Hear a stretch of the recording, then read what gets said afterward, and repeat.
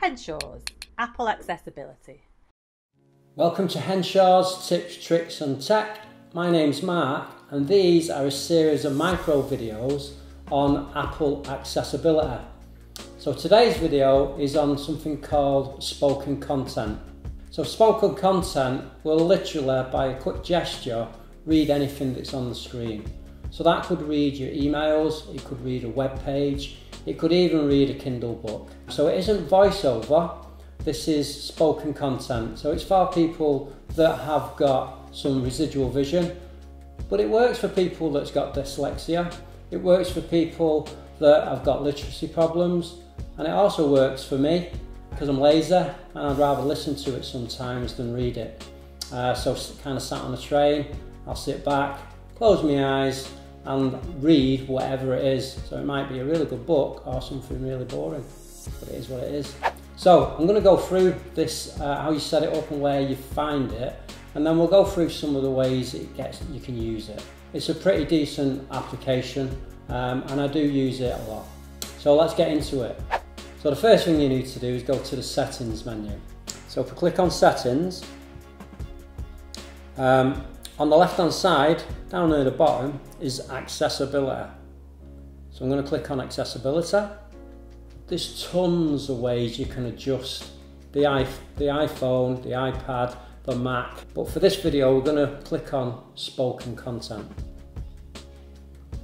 Again, there's plenty of things to change here, but I just want to bring in one of the features of spoken content. I've already got it switched on, because it's not contrived. I do use this all the time. So uh, you basically toggle on and off, uh, but I've got, I got it fully on. So I'm going to come back out and I'm just going to open a web page. Um, so there's Henshaw's web page. And essentially what you do, it's a two finger swipe from outside the screen. So if we do a swipe down, what's essentially going to happen, it's going to start reading what's on the screen.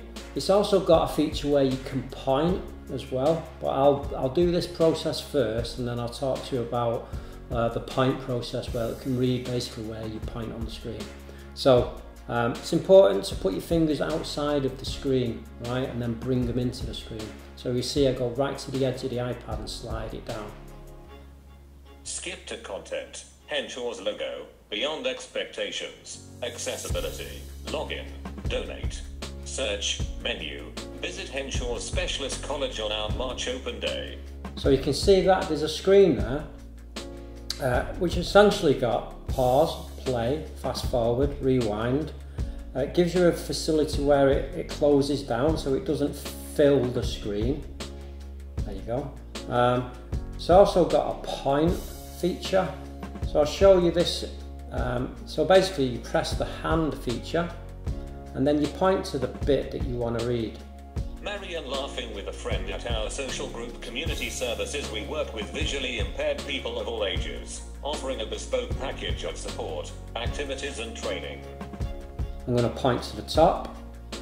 Henshaws is a northern charity supporting people living with sight loss and a range of other disabilities to go beyond expectation. So that's a web page, but it'll equally do the same with, um, with your emails or your messages.